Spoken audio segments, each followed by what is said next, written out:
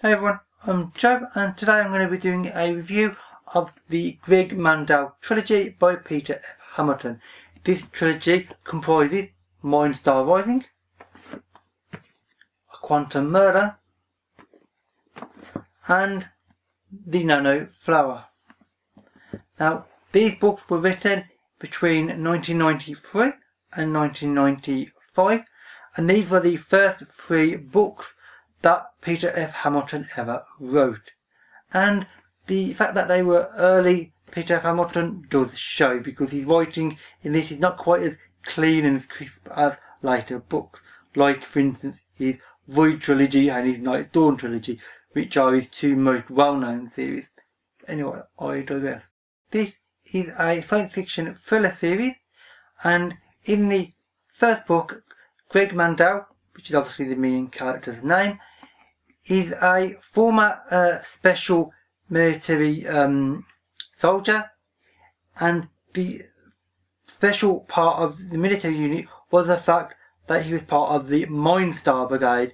This was a government program which they hoped would basically make a sort of psychic super soldier um, brigade because they had glands inserted in their heads and they thought that they could have these super soldiers who would be able to make the enemy literally commit suicide before they even got within range to shoot any guns and they would be like ultimate soldiers.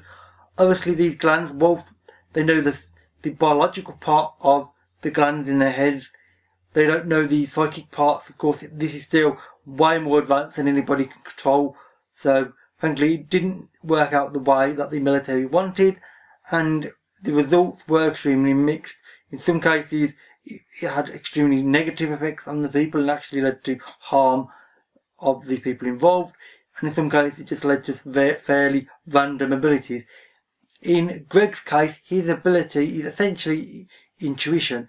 In other words, he's a human lie detector. Basically, he knows whether you're lying. He can just sort of see your emotions as you're speaking to him in your head, and he just knows whether you're lying. And this can be extremely useful, and indeed he's using it now in his new career as a private investigator.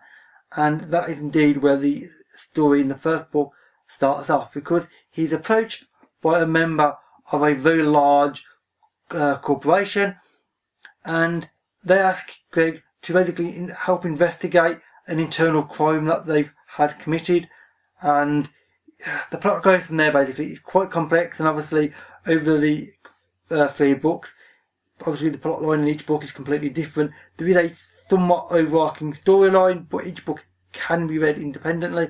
Personally, I wouldn't recommend it though because it makes more sense for the character development and the world development if you read them book by book in trilogy order, personally. Now, as far as the world building goes, this is where it's quite interesting and it could be quite complex because this is Earth, but near future. Basically, global warming has become extremely severe, and indeed the coastlines in various countries have been massively flooded.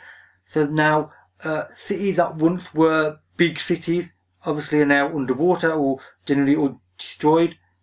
In some cases, I mean, some of them have survived with obviously massive investment and things. So now there are new central cities popped up, and one of them is uh, Peterborough in England, and England is where a lot of the uh, books take place. Obviously, they do go away from there in every single book to these other places, but England is ultimately where they are.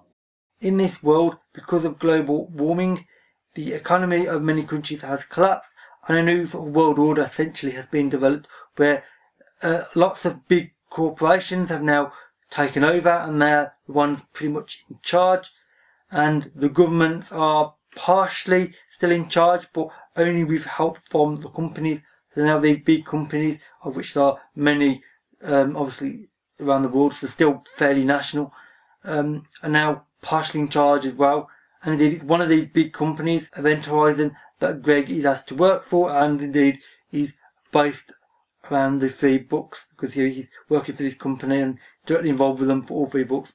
Now, overall, the books are fast-paced and fairly well plotted. There are occasionally a few little inconsistencies with time scale and a few odd moments where characters don't do what you've been brought up to believe that they should do at this point. But I personally can forgive that, considering that this is her early Hamilton, and you can still see what Hamilton was trying to achieve with this. His ambition and his grand scale for it is still there. At times his writing is a little bit mm, debatable and it does let down at points. And frankly it's why this trilogy I only gave them overall a 4 out of 5 stars. For his other books, quite a lot of them I've given 5 out of 5 stars. So this is a little bit weaker but not by much. It's still good, just not as fantastic as his uh, later novels. But you know, that's kind of be, to be, to be expected and indeed to be honest, that's not unusual for authors. You know, their early work often can be a bit weaker sometimes. Now, as far as other little flaws go, the main character, Greg, is frankly not a particularly likable character. I mean, he appears okay at the start of the book, and indeed he still is a overall a good guy.